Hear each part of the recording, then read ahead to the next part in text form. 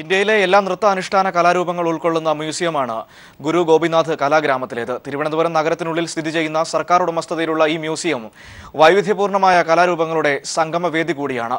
നൂറുകണക്കിന് കലാരൂപങ്ങൾ ഉൾക്കൊള്ളുന്ന ഇത്ര വലിയൊരു മ്യൂസിയം ഇവിടെയുണ്ടെന്ന് പ്രദേശവാസികൾക്ക് പോലും അറിയില്ല എന്നതാണ് സത്യം.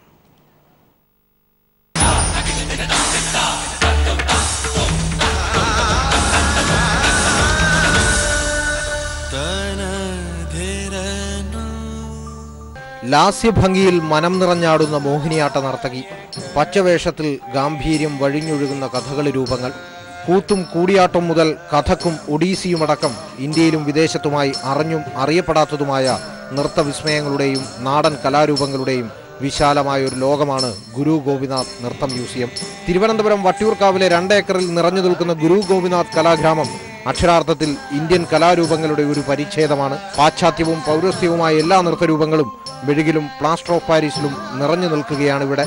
ഇന്ത്യൻ നടനകലയിലെ അവസാന വാക്കായിരുന്ന ഗുരു ഗോപിനാഥിന്റെ അന്ത്യാഭിലാഷമായിരുന്ന ഈ മ്യൂസിയം പ്രവർത്തനം ആരംഭിച്ചിട്ട് മാസങ്ങൾ കഴിഞ്ഞെങ്കിലും സഞ്ചാരികളുടെ യാത്രാപഥങ്ങളിൽ ഇന്നും ഇടം പിടിക്കാൻ കഴിഞ്ഞിട്ടില്ല.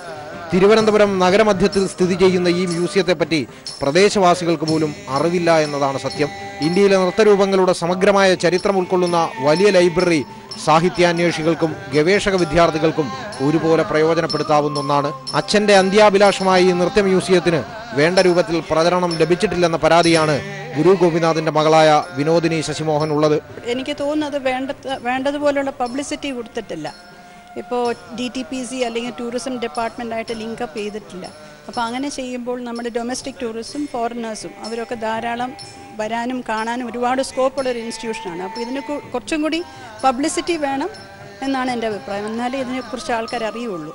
മോഹൻ ജദാരോ കാലഘട്ടത്തിലെ ഡാൻസിംഗ് ഗേൾ മുതൽ ഗുരുവിന്റെ ആധുനിക സംഭാവനയായ കേരള നടനം വരെ ഈ മ്യൂസിയത്തിലുണ്ട്. കേന്ദ്ര സംസ്ഥാന സർക്കാരുകളുടെ സംയുക്ത സംരംഭമായ ഗുരു ഗോപിനാഥ് കലാഗ്രാമത്തിൽ ഇന്ത്യൻ കലകളുടെ ചരിത്രം വിശദമായി പ്രതിപാദിക്കുന്ന അമൂല്യ ഗ്രന്ഥങ്ങൾ നിരവധിയുണ്ട്. പതിനൊന്ന് ഗാലറികളുള്ള ഈ മ്യൂസിയത്തിൽ ഒരിക്കലെങ്കിലും സന്ദർശിക്കാതിരിക്കുന്നത് വലിയ നഷ്ടമാണ് ഉണ്ടാക്കുക ഇന്ത്യയ്ക്ക് തന്നെ അഭിമാനമായി മാറിക്കഴിഞ്ഞ ഈ മ്യൂസിയം ഒരു പിശുക്കന്റെ നാണയശേഖരം പോലെ ഇന്ന് വ്യർത്ഥമാണ്. ലോകത്തിലെ എല്ലാ കലകളുടെയും സംഗമഭൂമിയായ ഈ മ്യൂസിയവും ഇവിടുത്തെ ഈ കലാരൂപങ്ങളും അതിന്റെ യഥാർത്ഥ ആസ്വാദകരെ കാത്തിരിക്കുന്നു. ക്യാമറമാൻ ബിച്ചു പൂവച്ചലിനോടൊപ്പം എസ് ജീവൻകുമാർ തിരുവനന്തപുരം.